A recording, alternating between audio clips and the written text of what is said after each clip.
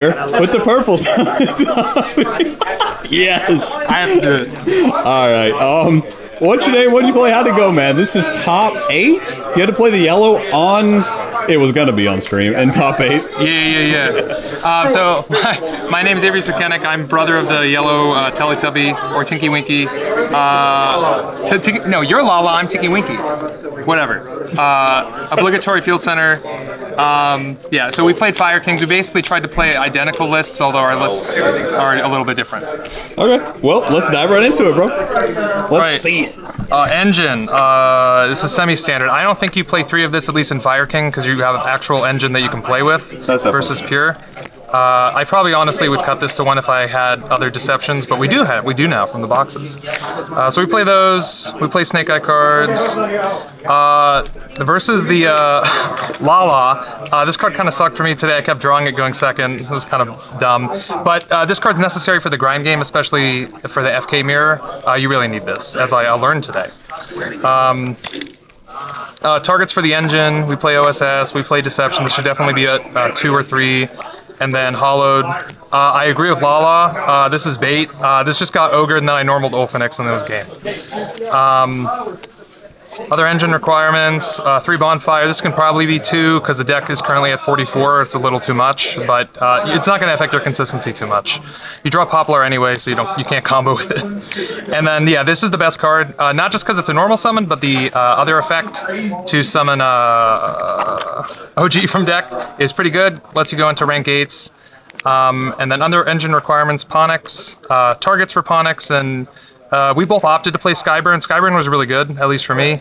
Uh, I did not brick on it as much as Lala. And then uh, the best uh, Fire Kings are these ones. Uh, you play three Kirin, at least in this deck.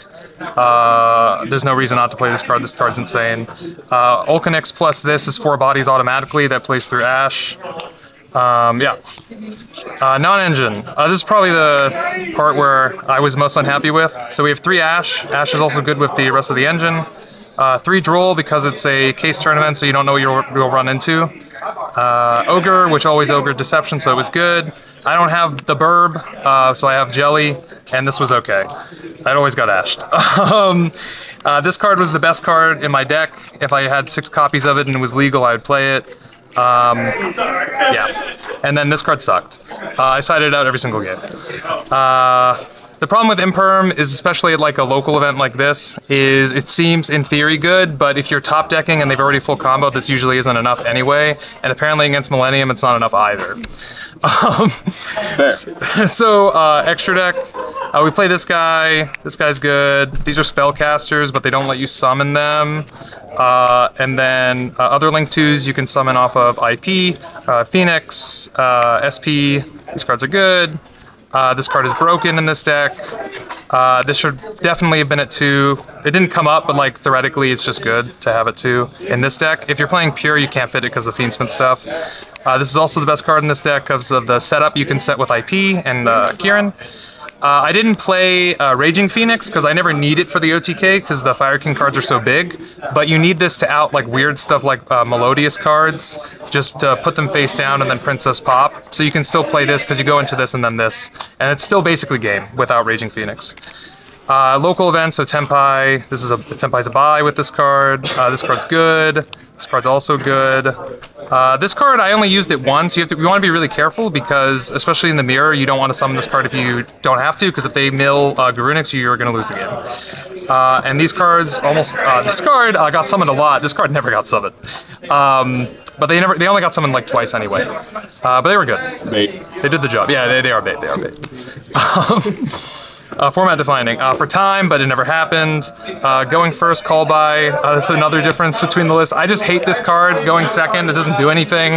Um, like if the idea is you're beating a hand trap, you're going neg one on a hand trap from their hand and they have full combo, so you still lose. Uh, for back row, two cosmic, and then for going second, especially into Yubel, uh, Forbidden Droplet, and this can combo with uh, like impermanent stuff, so you can theoretically have like uh, three negations. Uh, these cards were amazing. Uh, I did see my side today, uh, so this, especially into DDG and the mirror, is pretty much game if you have any follow up, and this against Tenpai is very good.